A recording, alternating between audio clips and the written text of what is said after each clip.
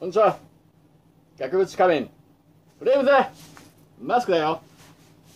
はい、えー、今日はですね、額縁の、えー、よくね、えー、知識の中でね、えー、本額と仮額っていうのをね、耳にすることあるかと思うんですけど、その違いをね、ざっくり簡単にご説明したいと思います。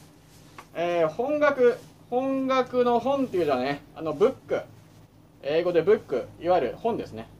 本に額縁の額、本額。まあ、いわゆる、あの、ごくイメージされる本額っていうのはこういう感じの、ね、ごつい、ごつい、豪華な額縁ですよね。で、あの、ちょっと今、見やすいように外しちゃってますけど、表面にね、ガラスとか、アクリルが入って、ね、まあ、これは額縁の形によるんですけど、まあ、マットが、ライナーというね、マットが入ったりとか。で、フレームも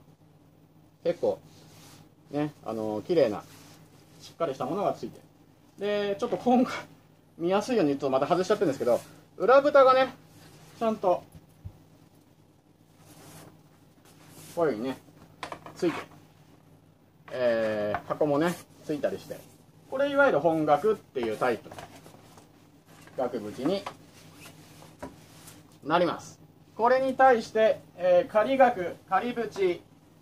なんて言い方する額縁があるんですが、えー、仮縁の仮はですね額縁仮面の仮面の仮っていう字ですね。人弁に反対の反。はい。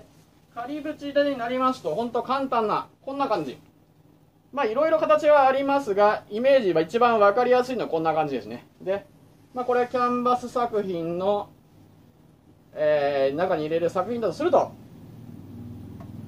これをただスポッとはめる感じ。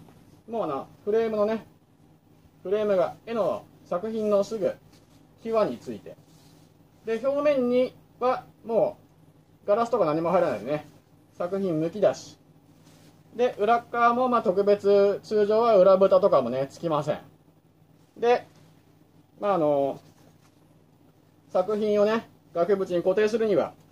まあ、釘で留めたりとかね、まあ、人によってはガムテープで貼ったりとかそういう方もいらっしゃいますね。これをいわゆる仮縁。あのー、公募店とかにね出品される時、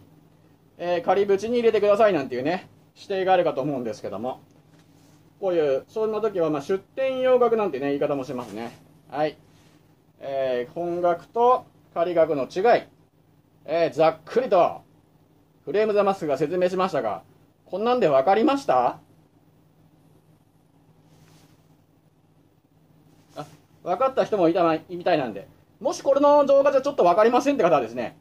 国分寺駅南口、徒歩2分にあります。えー、額縁専門店、次男画坊テントの方に来ていただくとね、あのー、次男画坊2代目店主、長谷川が分かりやすくご説明しますので、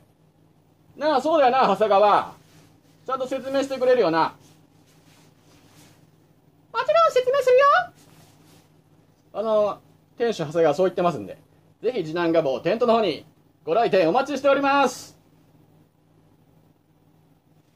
では、今日も、あなたの